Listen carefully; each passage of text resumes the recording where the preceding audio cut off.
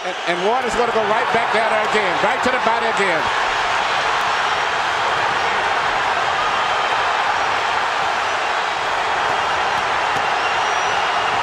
He's still hurting from the body punch also still. In addition to the head.